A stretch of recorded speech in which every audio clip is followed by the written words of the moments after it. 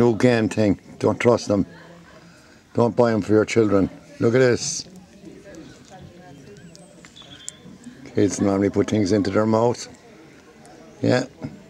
Don't buy them. Don't be foolish enough to buy that for your children. Thank you very much.